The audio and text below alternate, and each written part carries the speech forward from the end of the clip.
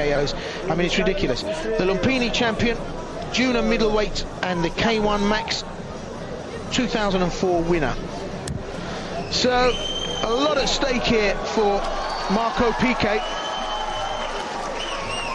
He's a skilled fighter, but up against Buakaw, well, he's going to need to be good. He's got the height and reach, and he can certainly bang him in. That straight left, well, it's like a steam piston on the Flying Scotsman, and he knows how to work it. But Por Pramuk, tough. Good left-right combination. He reaches in over the top. Por Pramuk needs to uh, have a care. And PK very focused. Remy Bonjasky in attendance tonight, as is my chum Fred Royers from the Netherlands.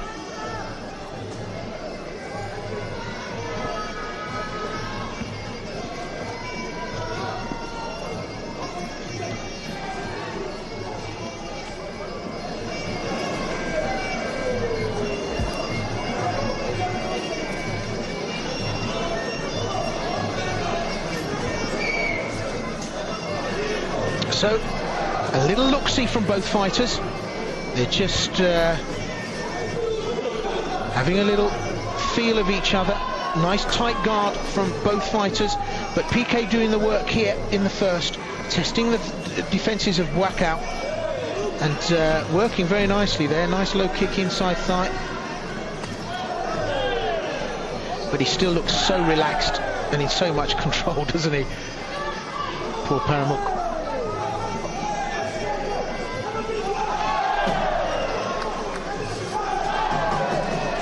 Doesn't want to become overzealous, Marco Pique, because uh, if he slips up, Buakaw will find a home for a with bells on shot.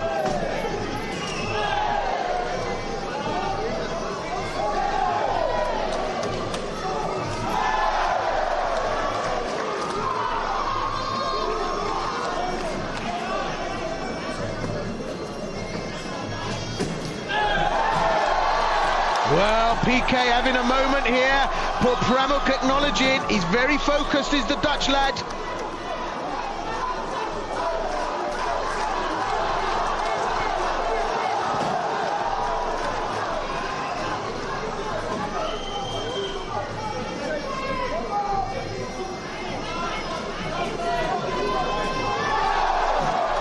Well, he's having it his own way, is Pico.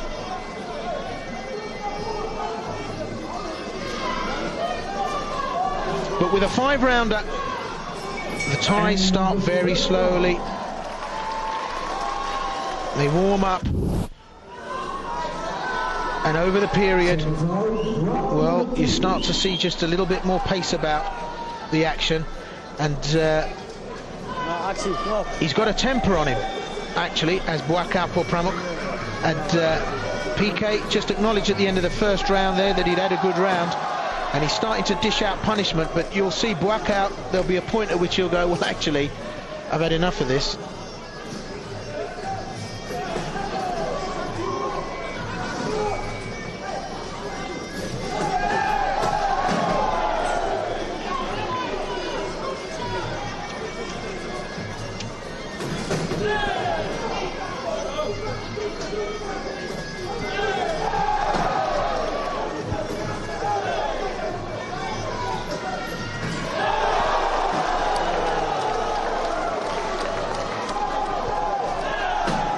Little smattering of knee strike there. Pique, well, he's kept it tight thus far.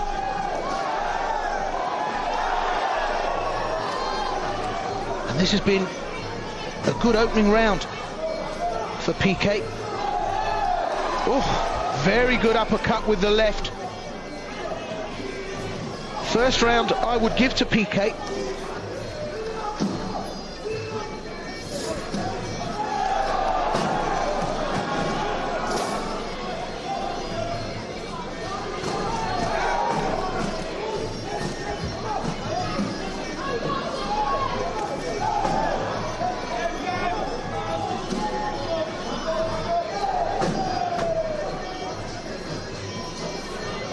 It's still got a nice even pace about it.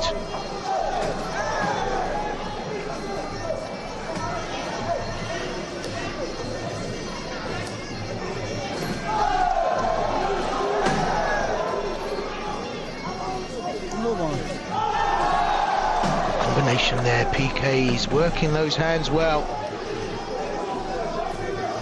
The uppercuts are really top tasty shot and he's using it well. It's coming right up between Buakaw's guard.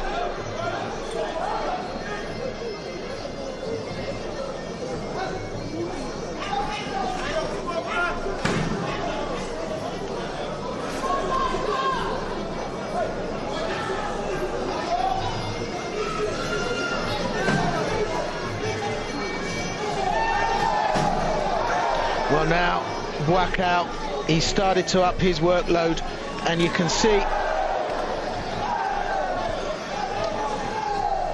he's starting to get through the range of PK and uh, putting PK under a bit of pressure now. And one thing PK needs to do is keep his composure because Por Pramuk now starting to rev up and uh, he's given the Dutchman one and a half rounds but uh, well the assassin from Lumpini you give him an inch and he'll take two miles and he's starting to put PK under all kinds of pressure. And it's a different look on the face of PK as he goes back to his corner. Impact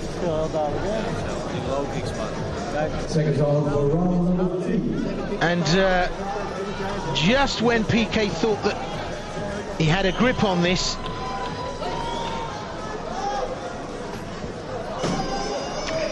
it's uh, gone up to another level and look at Por Pramuk the speed of the boy but replied very nicely with a great combination by PK and uh,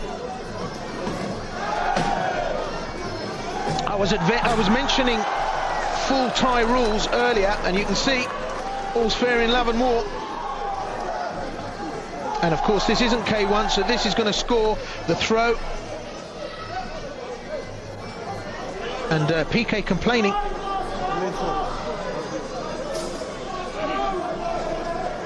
Mm, Something wrong with his eyes. A quick second for a breather. An instruction to Marco Pique. The referee kind enough to let him have that little rest. But I was talking about full Thai rules, and as I said, uh, great bout coming up at the NEC, beginning of May. Liam Harrison goes in against Mustafa Ziani. Richard Cadden against Michael Showers. Reese Crooks on that bill as well, injury dependent. So that particular fight card will be bringing you here on Fight Club later on during the year. But uh, Pain and Glory, of course, part of the CENI Expo at the NEC. And uh, what's not happening there is not worth knowing. www.cenishow.co I'll say .co.com um, senishow.com log on. Loads of stuff there. BJJ Brazilian Jiu-Jitsu seminar. The Gracies there. Karate demonstrations Thai demonstrations you name it it's all going on two-day event at the NEC Birmingham of course the promoters of that are Fighters Inc and uh, sponsorship from Tiger Beer. And talking about a Thai Tiger, just look at Por Pramuk work the low kick now. He's really taking control here.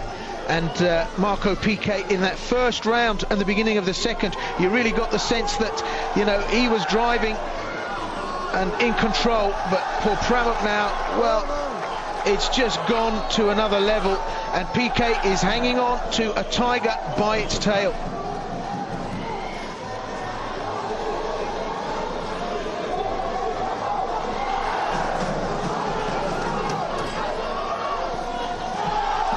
Buakaw Por Pramuk, of course, the winner of the K1 Max 2004 and uh, runner-up finalist at 2005. And just look at the boy. He's loving it. And Marco Pique needs to get those hands up around his temples because I can see a knockdown kick coming for, from Por Pramuk and he's chopping away, working the low section and the midsection. And that's another strong round for Por Pramuk.